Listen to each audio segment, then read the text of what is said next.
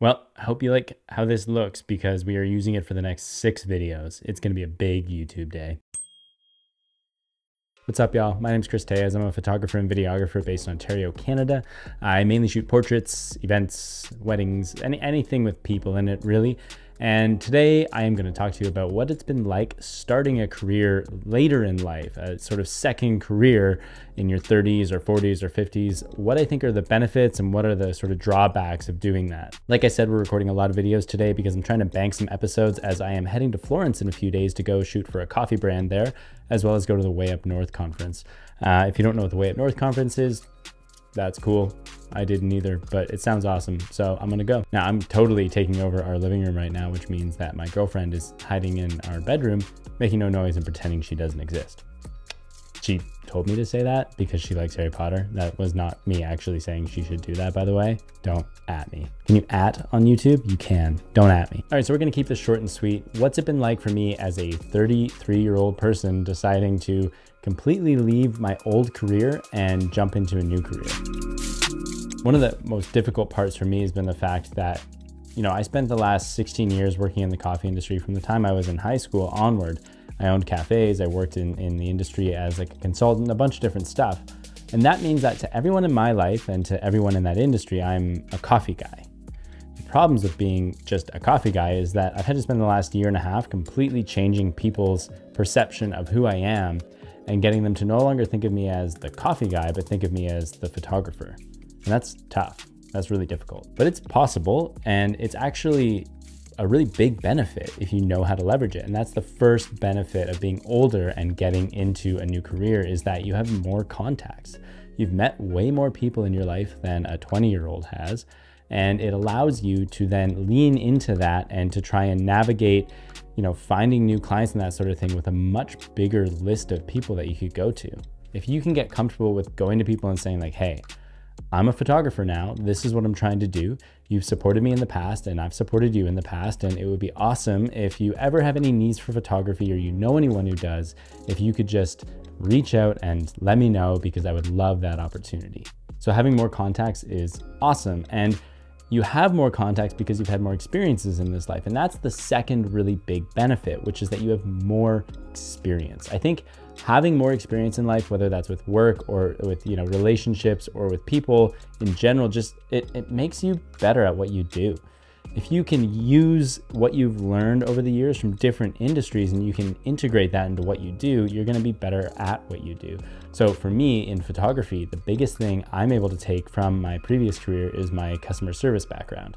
You know, owning cafes, working in cafes, doing wholesale, like customers are always the most important thing. And you better believe that when you're a freelancer and you're working in like something like this in the arts, the way that you work with your customer or your client is just so, so important. And I would say that my photo making and portrait making skills are good, but they're far outweighed by my customer service skills. And every time that's going to get me the client over the other thing. Uh, the other benefit that I see is that you just have a better understanding of how the world works, if that makes sense. Like, you've been in more situations, you've been in situations that you're happy with, that you're unhappy with, you've dealt with frustrating people, you've dealt with great people, you've just you've had so many more experiences to draw from and it just kind of like hones your ability a little bit to focus in on what it is that you want to do and what it is that you you know don't want to do.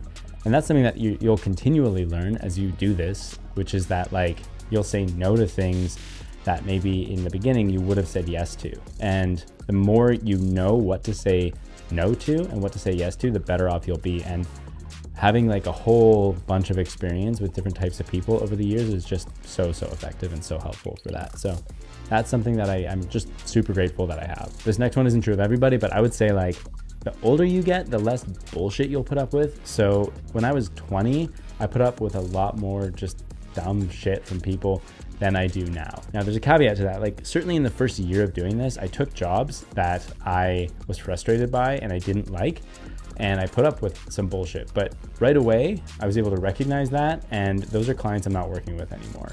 You know, some of them I've found like a happy medium with where I'm able to say like, hey, we're not going to do it this way anymore. We're going to do it like this.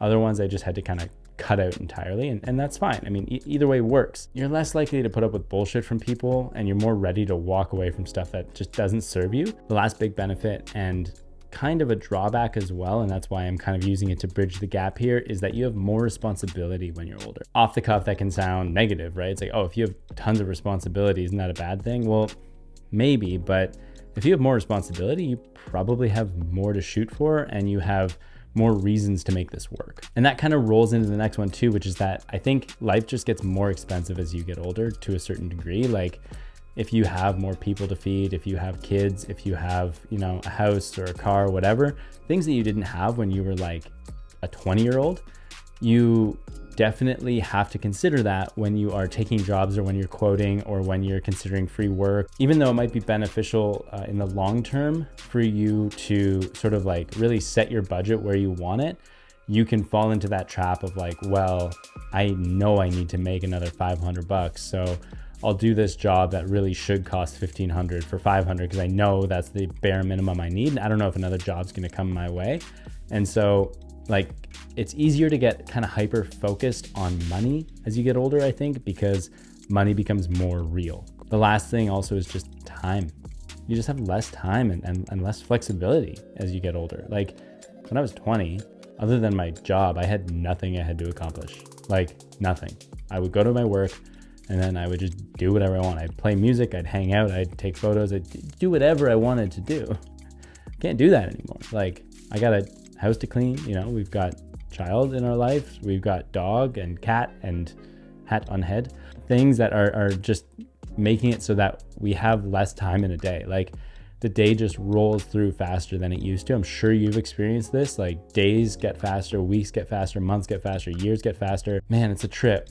And so when you're considering a new career, when you're especially something in the arts where there's like so much groundwork to lay and so much time that it all takes, like making things and editing things and putting them out in the world just takes a lot of time and you just have less of that. So if I was to basically sum all that up and I was to say like you're new, you are getting into the photography world or the videography world very recently and you're older, like what would I think about? I would really think about like figuring out what my budget is, figuring out how I'm going to match my budget to the work that's coming in. I would say like don't quit your day job necessarily right away. Ease out of that or ease into this new job and really lean into your contacts in life. Build that understanding in them early on that you are doing something new. And I think that's going to help you to lean into those contacts further in the future because they will start to want to give you opportunities if they know this is something that's really important to you and something that you're taking seriously. I hope that makes sense. I think it's interesting being a little bit older getting into this industry and seeing the differences between yourself and how other people are approaching it. So if you could do me a favor, let me know in the comments like what age were you when you started doing this professionally or semi-professionally? What was that like and what's the process been like since then? Are you brand new to this? Are you like in your 40s or 50s starting this? What's your take? Does this all make sense to you? I'm, I'm super curious to hear. So thank you so much. Uh, do me a favor, subscribe and follow along. We've got a whole bunch of cool videos coming out soon and I really appreciate the love and support. So get out there and photograph something and be kind to yourself as you do it because this is a really fucking hard thing to do. All right, peace.